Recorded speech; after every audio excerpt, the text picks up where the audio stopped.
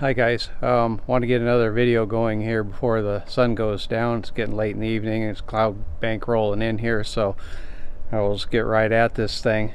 One of the things we're facing as a problem on the mountain is uh, heating up the mini yurt. We had days where it would be 80 to 100 degrees and then at night it dropped down to like 40 degrees. We did get one of those buddy heaters to put in that runs on propane um, but it really wasn't too happy with the results from that uh, unit.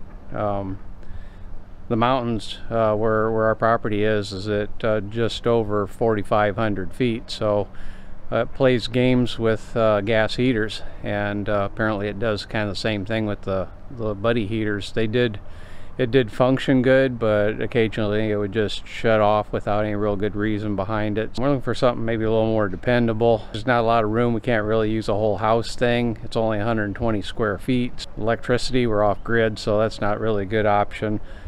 This is what we've come up with.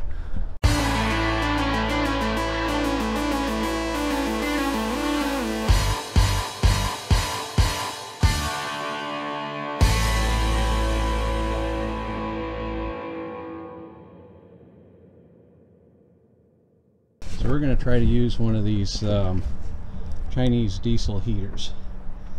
And this particular one is a all-in-one unit. Uh, I've already taken the screws out of the cover on it because um, I plan to do some modifications to it. And uh, once you've taken the screws out of it, you have to remove the fuel cap. And then this cover comes off. And you'll see it's got the, the fuel tank right here. Um, back in here is the fuel pump. Got the hose connected up to it and this one goes around to the opposite side of the case and then up under the bottom. Then they got a couple different versions of these things. Um, some of them just have a round duct here and then these others have these four holes in them. The time when I bought this, um, the inventory seemed to be kind of limited on some of the uh, versions that they had so I ended up with this one. Uh, it is 24 volts. I had two batteries from my fishing boat for the trolling motor and that has become our uh, power system out on the mountain. And uh, eventually those are going to be charged uh, using solar. We already have solar panels. Um, I got the electronics to do the inversion on it and also a charge controller so that'll be coming up here pretty soon because we're going to need that to power this machine. It does have a power cord on the back of it and uh, has two terminals that are going to be kind of useless for my situation so I'll probably be cutting those off and changing them and if you look at this side you can see the typical shape of the heater itself. You'll see these sold um, just as a kit without this this box around them. So you just install it um, as parts.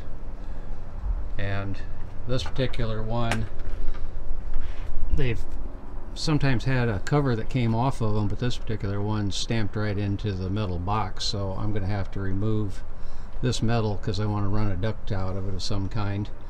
Um, this machine or this particular product didn't include any duct work for the uh, intake and, and warm air output on this machine um, back here is where the air goes in. There's a plastic cover over it uh, that pops off. And then the four holes on the front of the unit, that was where the, uh, the warm air comes out. It has this uh, control panel on it, which is basically removable. I, mean, I can I can take it and place it elsewhere. And from what I've gathered so far, this uh, hole down at the bottom here is a thermistor port, so it's supposed to read temperature like a thermostat in the house would. So we'll find out how that works. Um, I'll be extending this cable here so that I can actually reach it inside the building. I've decided I'm going to leave this uh, unit probably outside which may be an experience since it uses diesel fuel. I'm not sure how that uh, will like being out, so it may need some kind of insulation or something like that. But being in the box, it'll probably keep a little bit warm in there anyway. Okay, and on the underside of these units, the actual heater itself, there's an exhaust port, and this is where uh, combustion gases from inside of the heater exit and you have to put an exhaust pipe onto this thing and route it out just like you would an exhaust pipe from any kind of engine. Um, so that, that has to be figured out as to where that's going to be placed. This is the fuel line going into it and then this is the intake going into the engine and they provide um, a hose and silencer that you put on there to um, put air into it from a remote location basically you're keeping everything that goes on inside the engine outside of your uh, confined area and only uh, warm air is being pushed through the inside or I should say around the outside of the engine through its case and uh, into the space you're going to occupy. There's not going to be any exhaust gases getting in provided you got everything um, located properly. This particular unit did include a few parts. Um, it has these hoses that are intended to go onto that four pull duct in the front. This little tube that's uh, packed inside of it pulls out of there and that's what will go onto this silencer and attach to the bottom of the unit back here. And then there's another piece of this tube um, for the front warm air vent so you can point it wherever you want. They come with this exhaust pipe which is a bendable piece of uh, uh, lightweight stainless tube and it includes a kind of a muffler unit to silence the exhaust and it has a bag full of uh, hose clamps for hooking the different components together uh, mounting things and there is a wireless remote in there so that you can actually pair with that controller from the front and uh, remotely control it.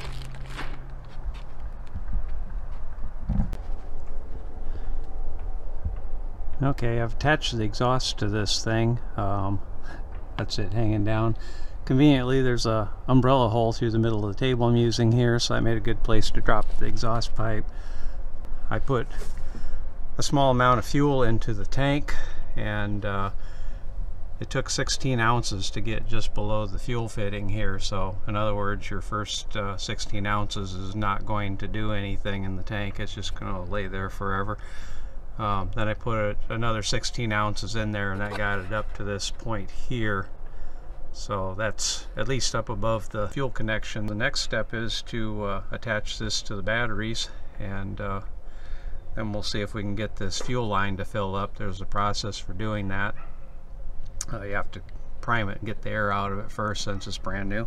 If you're relying on the instruction book to uh, tell you anything, it's it's a extensive English written book, but uh, it's very confusing. The language is awful, and uh, so you're gonna have to watch some videos or uh, get on some like Facebook uh, forums and things like that where you can learn how to operate this because the instructions are not going to tell you how to do it.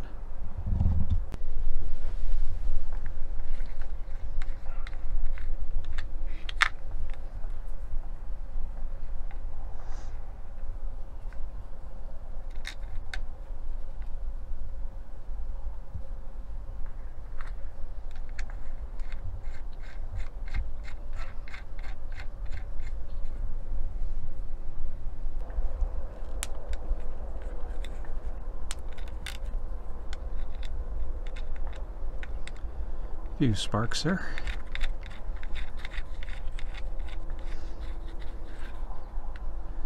So I have these two ba batteries wired together in uh, series. So we got the positive going into the negative over here, and then uh, of course we're hooking up the red and black wires to the negative here and positive over here. So that's 24 volts.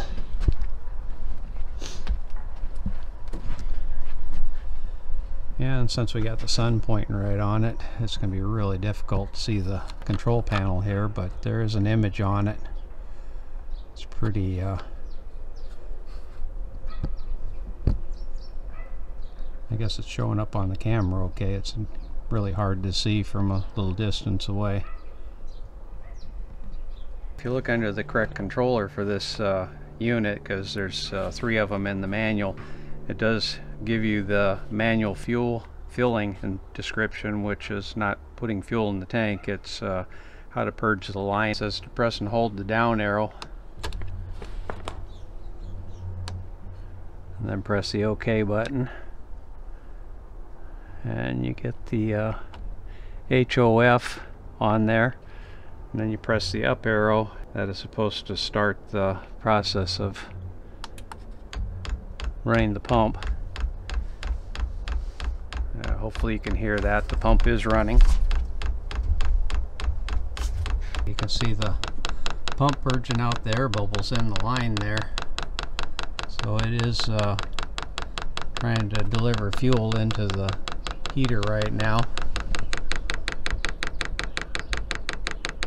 I don't see any air in the lower line right now to speak of, so it's, uh, it's filled that line.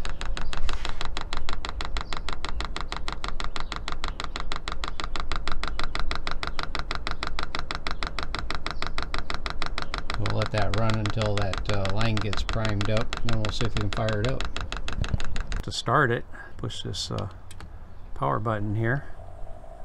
It says it's on. And I do hear the fan spinning up on it.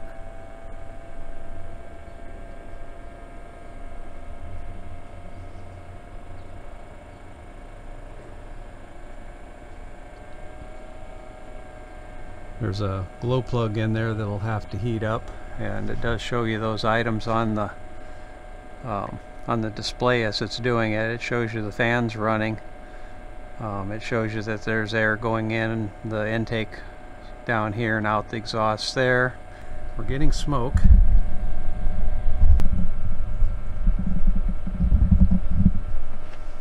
So we're getting smoke out of the exhaust.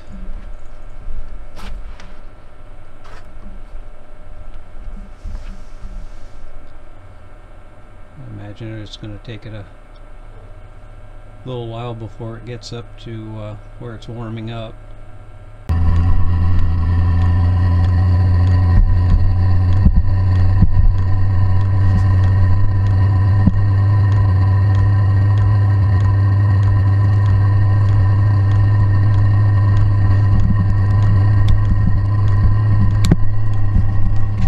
That seems like a lot of uh, a lot of smoke coming out of there right at the second.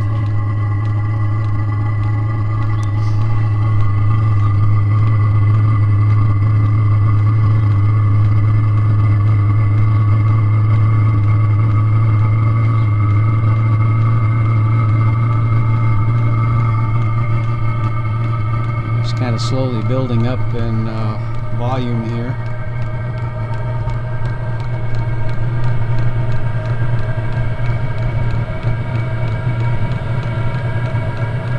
on the control panel.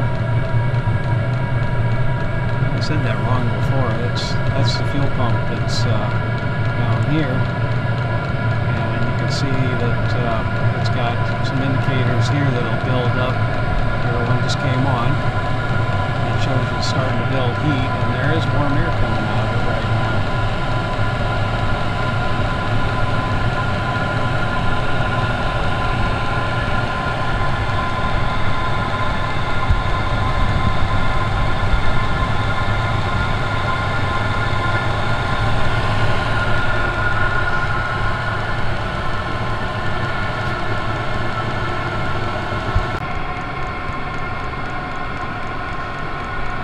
Okay, it's been running for a couple of minutes. Uh, videos that I watched said that they're pretty quiet, but uh, I'm not going to call this real quiet. I don't think you'd want it in the same room with you.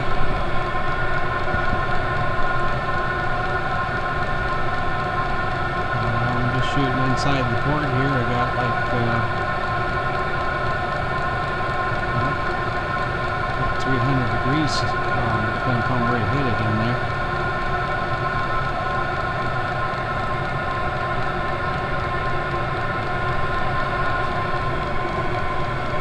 It is putting out a decent fan of air here.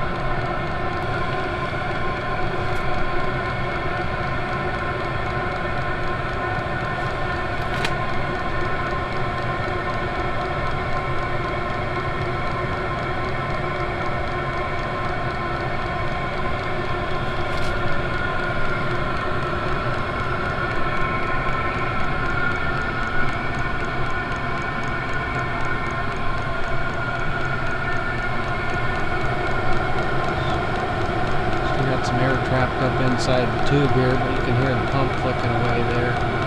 It's going at kind of a quicker rate right at the moment because I do have this thing just turned up on its default setting. I haven't adjusted any kind of a temperature or rate on it yet.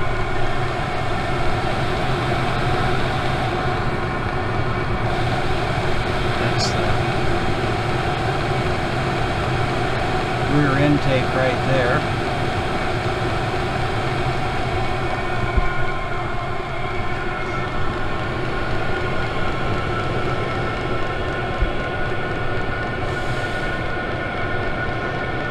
And the box itself is cool at the back and at the front of it's just slightly warm. So it's fan's doing a good job of keeping the plastic housing around the unit um, cooled off. You can see inside the heater port kind of what the engine itself looks like. Uh, it's got fins on it, kind of like a cylinder head in a way. And uh, basically it burns a fire inside of it and then moved over the outside of it where it comes out here. So, so effective way to get some heat. It sounds like it's running pretty smooth right now. I'm assuming this is its highest uh, setting.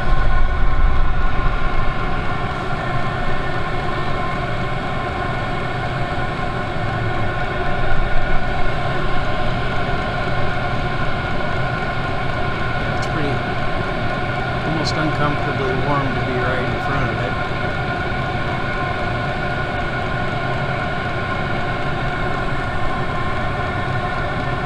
And to shut it off, you're supposed to uh, press and hold the on-off button.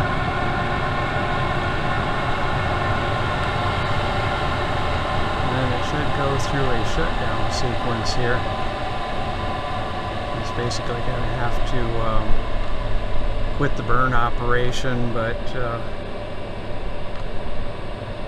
fan has to continue to run and uh, take the heat out of the unit or else it would obviously just melt its plastic housing off or destroy the circuit board that's on it. That's one of the concerns that I have with this particular kind of a heating unit is the electricity is pulled away from it for any reason. Um, it can't go through the shutdown sequence that's necessary to cool it. And that could allow it to self-destruct. Since we're running a solar system, that means that uh, you have to be really sure that your batteries have enough capacity to run it uh, for the length of time you intend to run it. Now there's timers that you can set on it and that, so uh, you can limit how much time it's going to run, but um, my particular solar controller has a function in it where you could plug this into the load on it and uh, when it gets to a certain battery voltage it'll shut off the load um, which would leave this incapable of cooling itself off in a cool down cycle. So it's one of those things you have to consider if you're going to use something like this. Otherwise, uh, everything seems to have gone through as it's supposed to. And I need to do some modifications to the get that duct port in the back of it here. Gotta get that cut out so I can get uh, duct work on that. And then I gotta figure out what I'm gonna do with those front ports so that I can send heat into the building. And uh, I have to extend the wires on this uh, on this thing here, this controller, so that uh, we can put that inside the building so that we can keep tabs on it and uh, control it that way.